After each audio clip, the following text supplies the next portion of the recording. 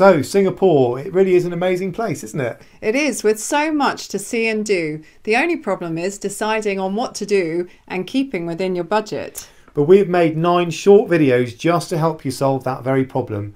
I'm John. And I'm Lou of Independent Travel Reviews.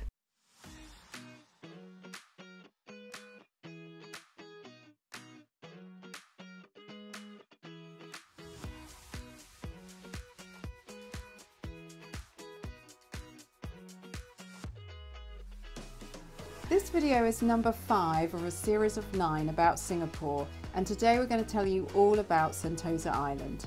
So we're going to cover options for accommodation and the Singapore Aquarium and we're also going to cover the beaches, Fort Siloso and give you some options as to where you could eat whilst you're here. And we'll also give you our personal opinions of Sentosa which are not totally aligned.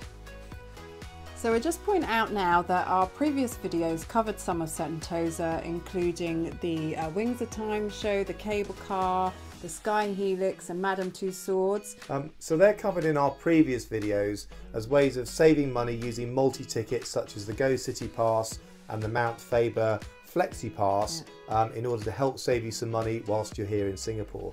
So make sure you watch those as well so you get the whole picture of Sentosa. So let's start this video with some information about getting here and getting around.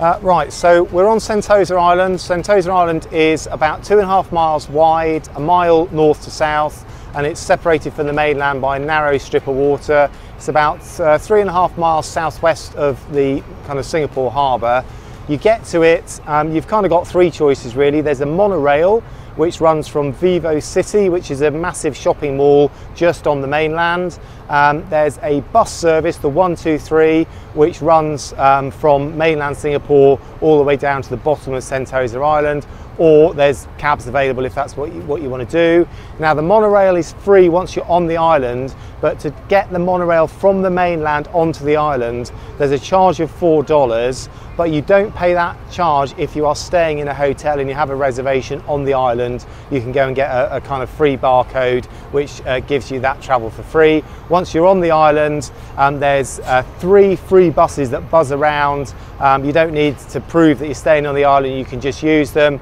You can hire bikes here and it's fairly small so it's easy to walk. And of course, if you've got the cable car ticket, there is a cable car that runs three stops along the island, so that can be a good way of getting around as well. Now, I don't think you need to stay on the island personally. I think it's it's close enough and easy enough to get onto that you could you could still do Sentosa Island and stay on the mainland. There is, for example, a travel lodge which looked pretty good value for money right by Vivo City, which so you'd be on Sentosa within 10 minutes. However, I think Lou's got a slightly different view because she really likes staying on the island and there is no doubt that it is a lot more convenient.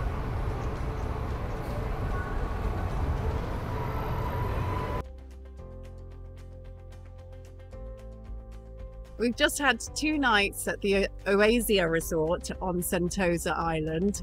Um, so we're just going to tell you a tiny bit about the hotel.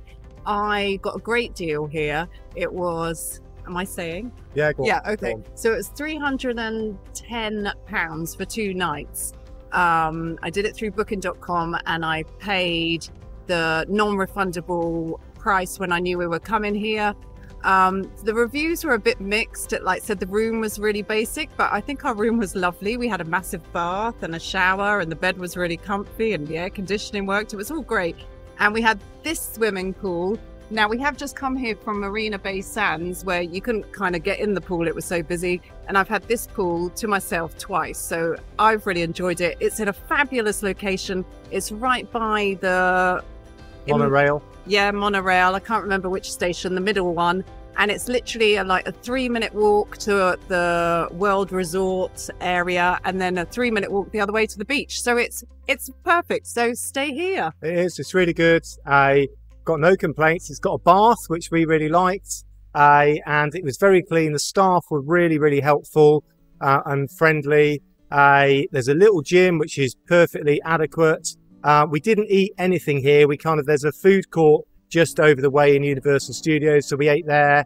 Um, But no, overall, it's is I cannot see anything wrong with this place. And if the price comes in well, then I would say it's a pretty good choice. It's very central. Yeah, so good choice. Thank you, Mrs. E.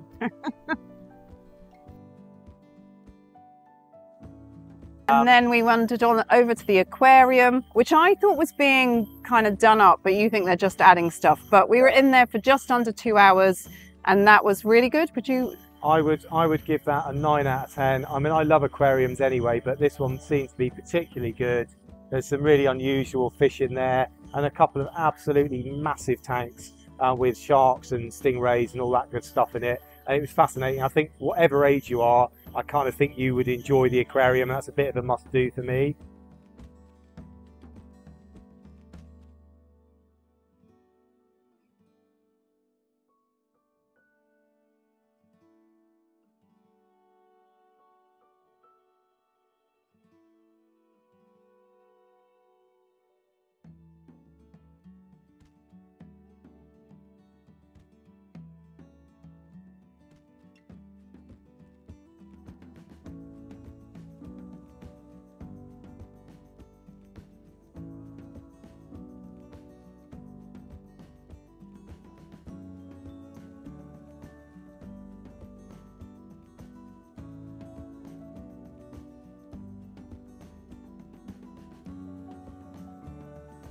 Um, and then we came down to the beach, didn't we? Oh yeah, we beach. Yeah, beach wasn't for us. Didn't particularly like the beach. I, I, think what I would say is if you've if you've got an image in your mind of Sentosa being this kind of pretty, quiet little beach resort, you are going to be a bit disappointed.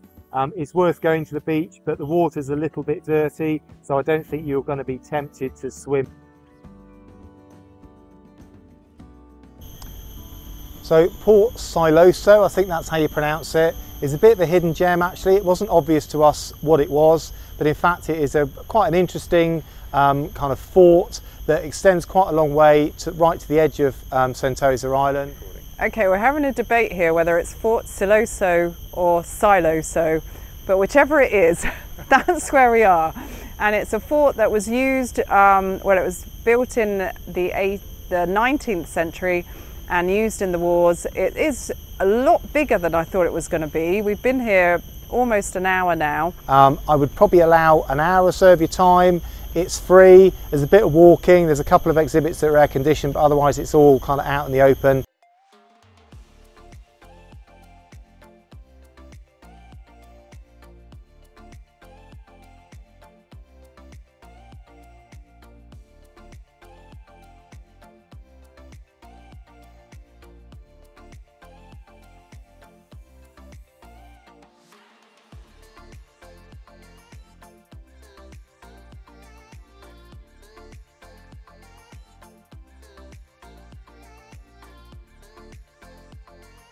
Yeah, and, and I would say if you want a food court other than the one on Sentosa, then the, the free monorail to Vivo City takes or less than five minutes to get there. And there's this massive uh, food court at Vivo City, which is, is mostly for locals. So it is a very interesting experience finding something that you recognise, um, particularly if your normal food culture is Western.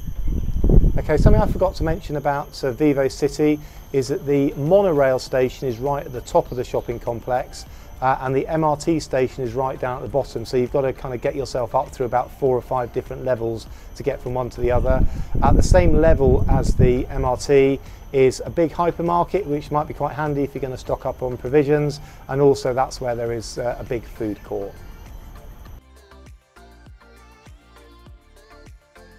Uh, we've just had two days here, um, jam-packed of stuff to get a flavour of Sentosa and I think I've really enjoyed it.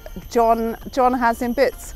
Uh, so I think Sentosa is like a, it's a bit like a mini Orlando, very different from the rest of Singapore. It's their, their the beach side, um, which personally I wouldn't spend time on the beaches. A, it's too hot and the water's a bit dirty, but it's nice to see.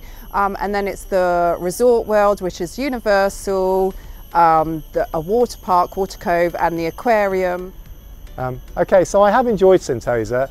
It is quite touristy in parts, but then there are bits like this that are uh, much more natural. It is touristy, um, but it's also a lot of um, Singaporeans come here. So and and John thinks it's busy. I personally don't think it's busy. If you go to Orlando, it's rammed, it's packed. As you can see, like no one's here. Apparently Universal is, but we didn't go there. And I would imagine that at weekends and on public holidays, it does get really busy. So you might be well advised to try and make your trip here during the week, but just be prepared for it to be different to the kind of main bit of Singapore is what I would say. So yes, I would say two days in Sentosa was fab.